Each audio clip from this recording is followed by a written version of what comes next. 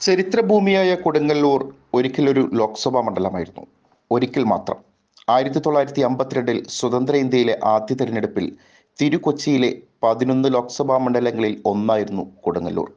ആയിരത്തി തൊള്ളായിരത്തി അമ്പത്തിയാറിലെ കേരള രൂപീകരണത്തോടെയും മണ്ഡല പുനർനിർണയത്തിലും കൊടുങ്ങല്ലൂർ മണ്ഡലം ചരിത്രത്തിന്റെ ഭാഗമാവുകയായിരുന്നു.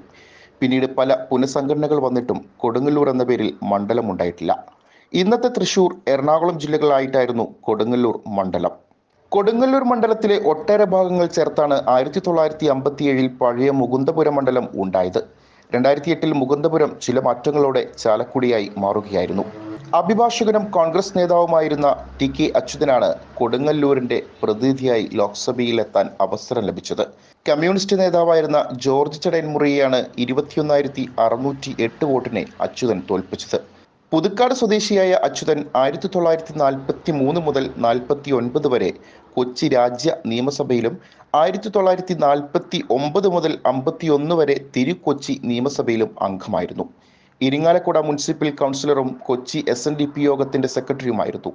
പിന്നീട് ആയിരത്തി തൊള്ളായിരത്തി അറുപതിൽ നാട്ടികയിൽ നിന്ന് എം എൽ എയുമായി. പട്ടം താണുപിള്ളയുടെയും ആർ ശങ്കറിന്റെയും മന്ത്രിസഭകളിൽ തൊഴിൽ ട്രാൻസ്പോർട്ട് വകുപ്പുകളുടെ മന്ത്രിയുമായി. ആയിരത്തി തൊള്ളായിരത്തി തൊണ്ണൂറ്റി ഒൻപത് ജനുവരി എട്ടിന് എൺപത്തിയേഴാം വയസ്സിൽ അദ്ദേഹം അന്തരിക്കുകയും ചെയ്തു.